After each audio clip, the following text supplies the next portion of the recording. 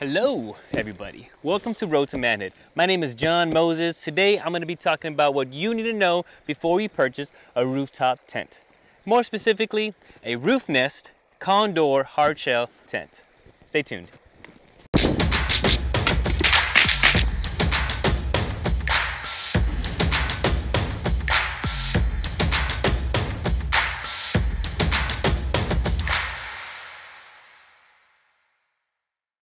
Man, I know I had a lot of questions before making the leap and ordering my rooftop tent.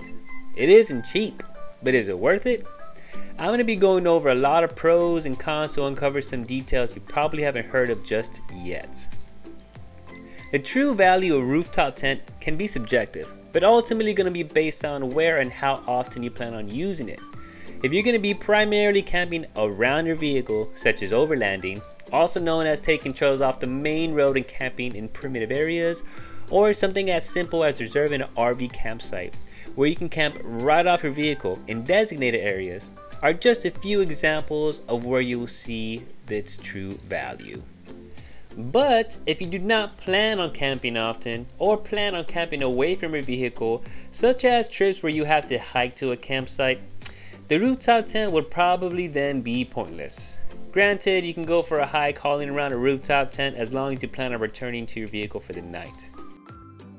Ever since the UK popularized camping as a pastime in the 1880s, there's been many efforts to lessen the load of the once primitive gear to make it as convenient as possible. The rooftop tent is one of those efforts. The thought of having a tent on top of the vehicle has been around since the 1930s, but just now started growing in popularity. As more and more people started clinging to the outdoors, the idea of conveniently and quickly preparing a home away from home, safely away from the ground elements, seems like a no-brainer. And honestly, it is. But let's take a deep dive on what needs to be taken in consideration before you make the purchase. First, there's a couple things that need to be taken in consideration before a tent is involved. Do you have the appropriate vehicle and proper rack system to support a tent? You must take in consideration the static weight, which is staying still, and the kinetic weight. This is in motion. Check if your vehicle can handle that and your rack system. It is called a rooftop tent, but placing this on the roof could potentially negatively affect your vehicle. Before ordering a rack system, I would strongly encourage you to consider how modular your rack system needs to be. This will go a long way in regards to other gear that you would like to carry. It also wouldn't hurt to have an idea of how you plan on storing your camping equipment and consider avoiding as much drag as possible while driving regarding to the tent placement. Doing that now will save you a lot of money in the long run. I'll talk about more about my rack system in a later video. Finally, storage. You have a place to store the tent. To me, this is an expensive item to just have laying on the ground where bugs can make it their own luxury suite. I don't think so. I had to create a hoist system that can not only allow me to store the tent, but also allow me to load and unload by myself, avoiding annoying moments like this. Man, how annoying is this? It's taking me longer to find assistance to help carry this and put it on the rack than it is going to be to install the shit. Yeah, go ahead and click on this link to avoid all that nonsense. Alright guys, let's talk about some pros. Big pros. First of all, I'm not to go any specific order. I have it shut right now and I'm to go through the pros as I open it up and all that. One of the main things is hard shell. Strongly, strongly encourage a hard shell. Many factors. One major thing that stands out is there's no zippers along the line to get this thing open. There's only a few clips here that needs to be released, which I'll show you in a little bit um, and then it opens up rather quickly. On top of that, while it's closed, it can be my own personal theory, but I think that the aerodynamics, the way that it's designed also helps with a little less drag. There's not a lot of flapping around. And as we're taking trails, you know, the trails are not maintained, so sometimes you're scratching through trees and all that, or sometimes the trees are low and it's scratching through this as well. This doesn't get a lot of damage. You're not worried about your tent because this, this hard shell actually works out really well. This is lightweight plastic, it's ABS plastic. The entire tent itself is about 135 pounds. Um, so it's just kind of keep that food for thought. But this is great, I really like that feature. One of the main, main things that I really love about this as well is the, the wind noise. We've been through the beach, we've been to through some very windy conditions. As long as whenever you lift up this tent and the wind is pressing against the shell, um, the wind noise is reduced dramatically, causing way better of a sleep as well. So I strongly recommend that. And even with, with Roofnest, what they do provide in regards to the wind noise is that on the shocks, when I open up, I'll show you the shocks that actually help the, shock, uh, the, the, the tent go up. They give you some locks, so just in case it's crazy windy, you don't have to worry about it falling on your head, man. This color does not come with the Roofnest. I painted it um, like a rhino color. It came with this shiny black. I guess it's the con, but I'm sure they might have other options later or may have the option now, but I had to paint this to get that color to match my truck and all that. Roofnest actually provides like extra stuff like a privacy tent, a 4x4 ground mat. It comes with all the, the hardware and the equipment. They even gave you an actually uh, uh, a socket wrench to make this entire process a lot easier to get this installed. Very convenient, I'm very impressed. And they included this very convenient LED light that connects to USB battery and not to mention the free freight shipping. This was super cool. They also come with some uh, pouches that I'm about to show you here in a little bit. Once I open this up, it comes with some pouches. You can add your shoes and all that. I actually chose this height in regards to the tent because I wanted to be as flush with the roof as possible with the truck and avoid drag. To my surprise though, there was not a lot of obstruction on that rear view mirror. Let's get this baby open. Every video you've seen regarding a rooftop tent, they talk about how easy it is to set up. But guys, that ain't no joke. It is a huge pro. But let me tell you something that stands out in a hard shell, maybe specifically to Roofnest, but my experiences with this specific hard shell is that you don't necessarily need to take the whole setup um, at once in order for you to actually take shelter, which is great because let me paint a scenario. This, this pretend it's raining, you get to your campsite, there's no sign of it stopping. They say that your gear you set up gear all the way inside so you can't sleep comfortably in here. But you know what? All you have to do is take a few seconds to get this opened up and then you'll have shelter right away. All you have to do, come out here in the rain, get this going.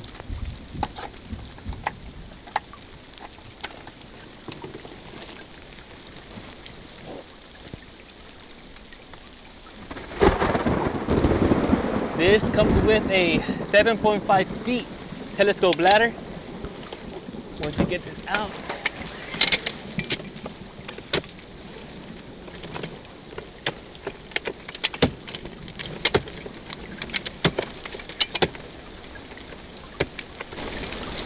Jeez Louise, I always get stuck there, man.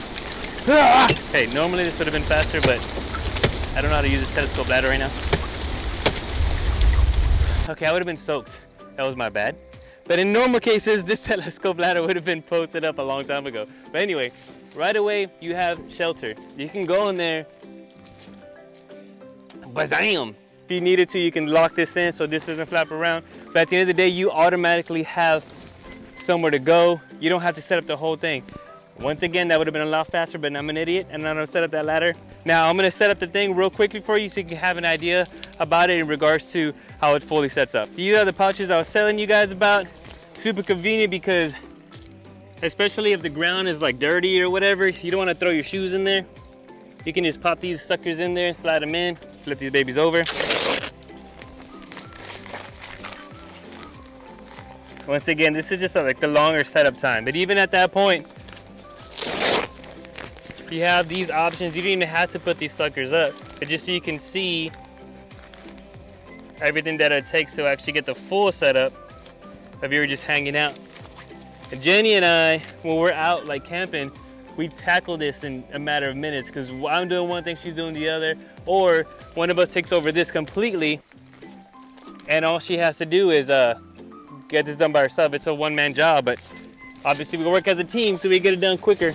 So these are the options for the windows. I'm gonna share with you guys a con, which we'll get to more later, but I can't use all these because the way that I have it set up on the truck. As you can tell, they have an area where you can come over here, secure it.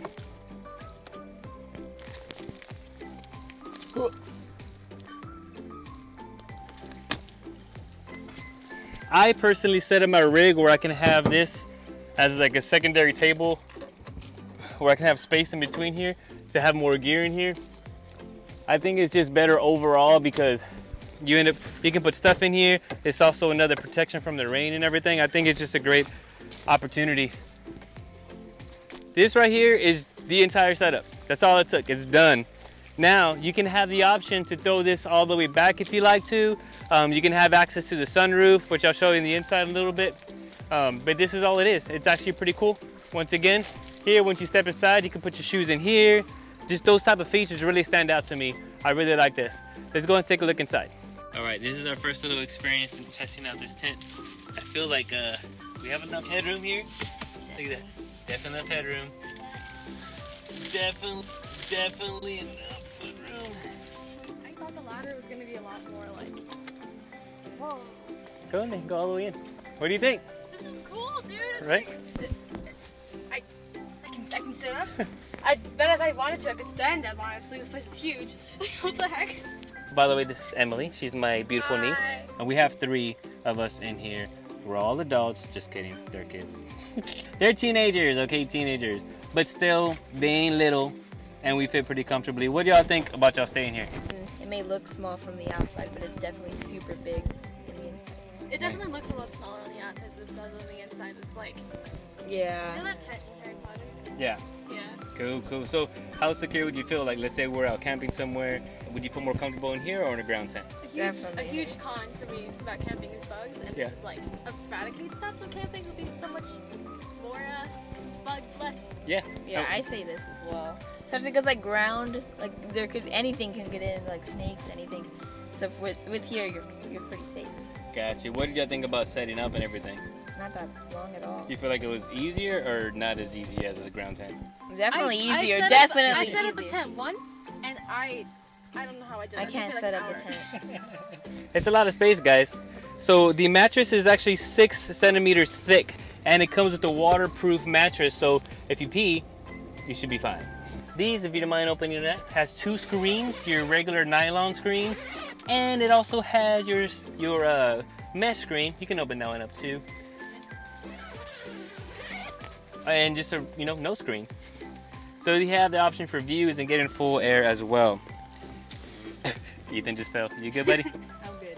Another quick pro too is that on top of all the space, there's like a little area over here, items here while you're sleeping. I don't recommend, and also the companies don't recommend you actually have a lot of items in here while you close it, because you know you don't you don't want to damage the tent. But while you're sleeping, you can put things out here like I have like pillows or flashlights, wallets, or my guns or whatever the case is. We're out there hunting in the wilderness, so that's cool. But also the quality of this, this is where I was talking about that shock. You can actually put in here. There's a bracket on here so if it's super, super windy, this will hold that from falling on you, which honestly, we whenever we were using it, it was super windy, we didn't feel the thing. We didn't use them, and it was fine. So I have full faith in this. If I had to give you some cons, there is some cons, but they're once again a far stretch from the pros. The first con, definitely the price. Super expensive. And on top of that, another con on that is that you kind of have to be you have to be prepared for the other expenses that not a lot of people talk about. For example, if you just buy this tent, you can't you can't put it on anything unless you have a system to put it on.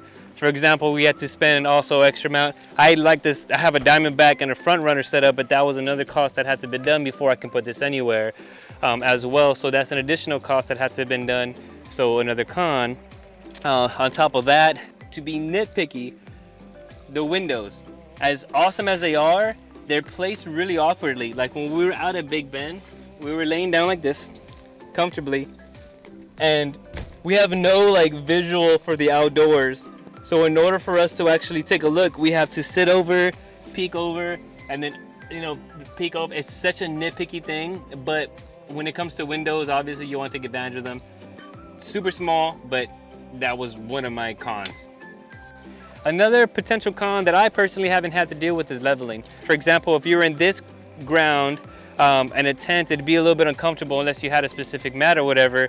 Um, and then obviously if it's unleveled, people use track mats. I have go treads that I can use as well. I haven't, once again, I haven't had to do that, but I'm sure that can probably be, you know, an issue.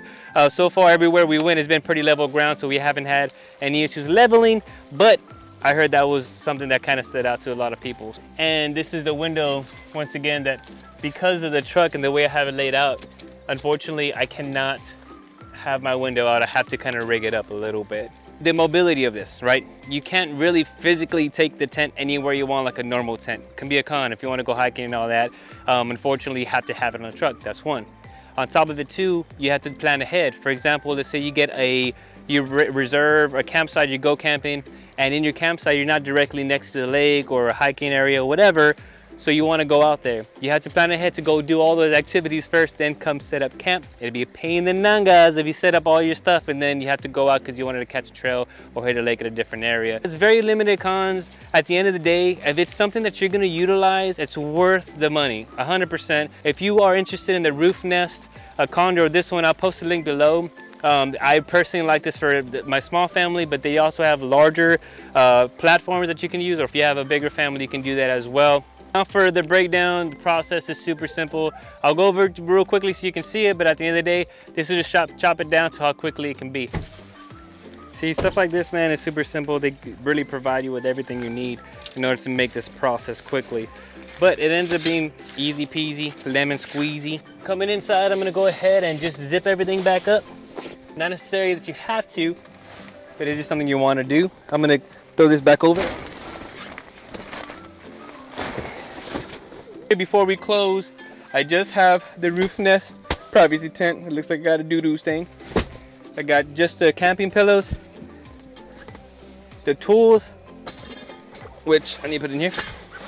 And then I have just like a couple pouches and stuff in here that I have, but besides that, that's it. We carry the, the bedding and everything separately just so we don't add mass up in this tent, mine.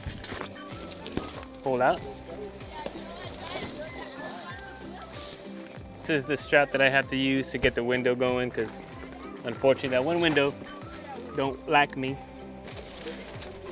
Lift this up.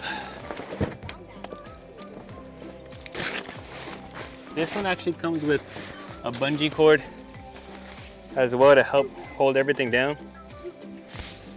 My phone die? Okay,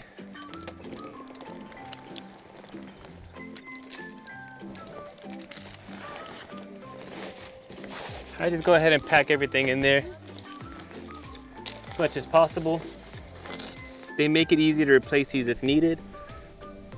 Overall, the concept of this specific gear goes a very long way.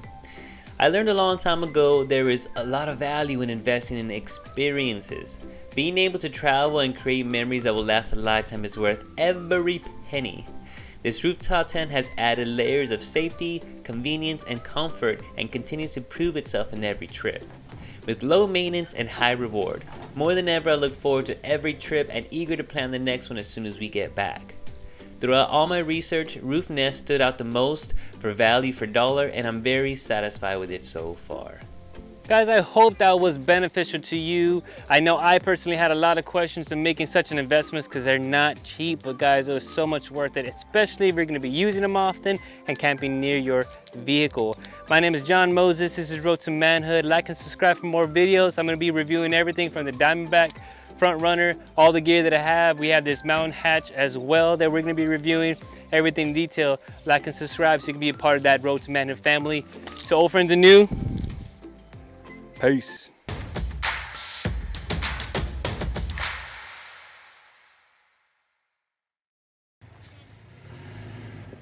Put on dry food.